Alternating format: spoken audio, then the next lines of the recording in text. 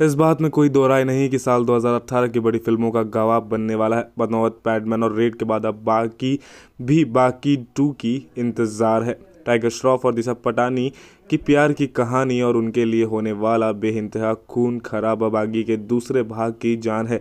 इसी कारण इस मूवी को लेकर मार्केट काफ़ी गर्म है। इस साल 1990 में सलमान खान बागी बनकर आए थे। वो उनकी अलग बगावत थी, क्योंकि निर्माता साजिद नाडियावाला ने 2016 में एक नई बगावत शुरू कराई और अब टाइगर श्रॉफ को लेकर बागी बनाई गई। साबिर खान ने उस मूवी का निर्देशन किया, तब बागी टाइगर को श्रद्धा कपूर की मोहब्बत में ज़माने से लड़ना पड़ा। साउथ की सुधीर बाबू ने विलन का किरदार निभाया था। तो साल, अब दो साल बाद इस हफ़्ते बागी का दूसरा भाग रिलीज़ होने जा रहा है। बड़ा फ़र्क ये है कि रोनी सिंह, यानी टाइगर श्रॉफ को अब सिया खुराना, यानी श्रद्धा कपूर की जगह नेहा, यानी दिशा पटानी से प्यार हो गया है। बदलाव ये भी है कि साबिर खान की जगह अहमद खान ने निर्देशन के कमान अपने हाथ में ली कुछ नया ये भी है तो देखने को ज़रूर कुछ अच्छा ही मिलेगा। दूसरे भाग में रणदीप हुड्डा, मनोज वाजपेयी और प्रतीक बब्बर भी हैं।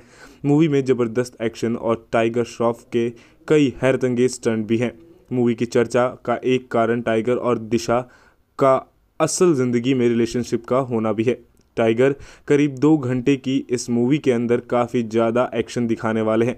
वहीं करीब दो घंटे 25 मिनट के इस मूवी को सेंसर बोर्ड ने यूएस सर्टिफिकेट के साथ पास किया। जानकारी के मुताबिक इस मूवी का बजट 70 करोड़ के आसपास है और अनुमान है कि ये मूवी पहले दिन 12 से 14 करोड़ के बीच कमाई करेगी। मूवी बागी टू की हाल ही में एडवांस बुकिंग भी शुरू हो चुकी है, जिसको काफ़ी अच्छा बताया जा रहा है। और भी खबरों के लिए सब्सक्राइब करें देखो देखो और आप हमें कमेंट करके ज़रूर बताएँ कि आप बागी टू देखने जाएँगे या नहीं।